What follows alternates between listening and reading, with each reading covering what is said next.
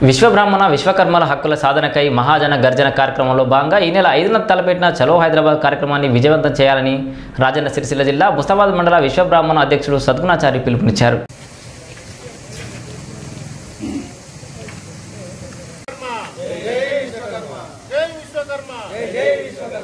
విశ్వబ్రాహ్మణుల ఐక్యత విశ్వబ్రాహ్మణుల ఐక్యత విశ్వబ్రాహ్మణుల ఐక్యత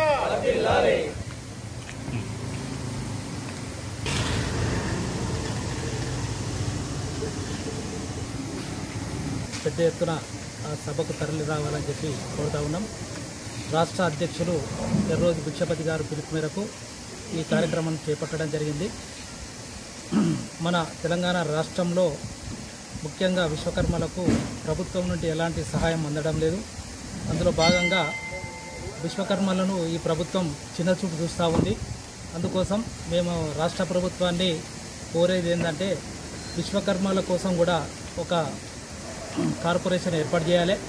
అలాగే దళితులకు ఇచ్చినట్టుగానే పది లక్షల రూపాయలు ప్రతి ఒక్కరు కూడా విశ్వకర్మలు పనిముట్లు కొనుక్కోవడం కొనుక్కోవడానికి కోసం కానీ అధునాతన పనిముట్ల కోసం బ్యాంకుతో సంబంధం లేకుండా నేరుగా రాష్ట్ర ప్రభుత్వం ప్రతి ఒక్కరికి ఈ ఇచ్చే విధంగా ఈ రాష్ట్ర ప్రభుత్వం చర్యలు తీసుకోవాల్సిందిగా ఈ ప్రభుత్వాన్ని డిమాండ్ చేస్తూ ముఖ్యంగా తెలంగాణ సాధనలో మన ప్రొఫెసర్ జయశంకర్ గారు సిద్ధాంతకర్త.